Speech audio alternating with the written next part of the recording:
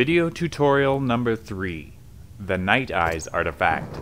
This is CzarDeaner, out in the field once again to teach you all about the Night Eyes Artifact.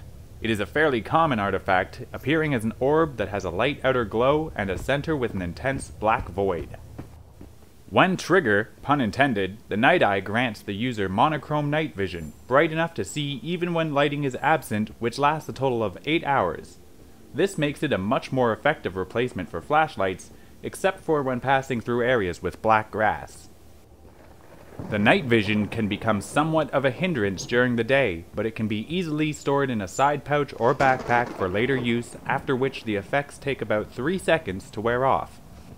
The night vision can become somewhat of a hindrance during the day, but it can be easily stored in a side pouch or backpack for later use, after which the effects take about 3 seconds to wear off. The Night Eye artifact is especially good at spotting web and shock anomalies in the dark, and is a recommended solution for anyone who has a particular problem with those hazards.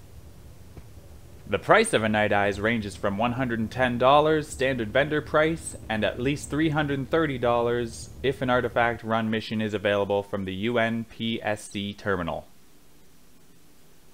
As an additional note, some stalkers have reported having strange dreams calling them towards the center of the radius while sleeping with night eyes under their pillow.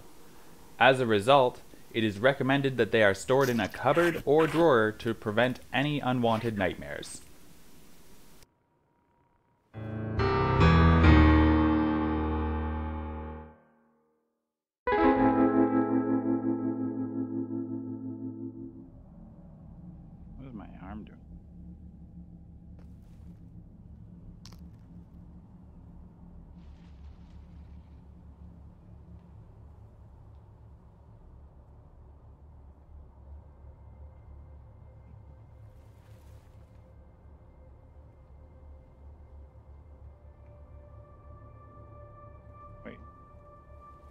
That's a glitch.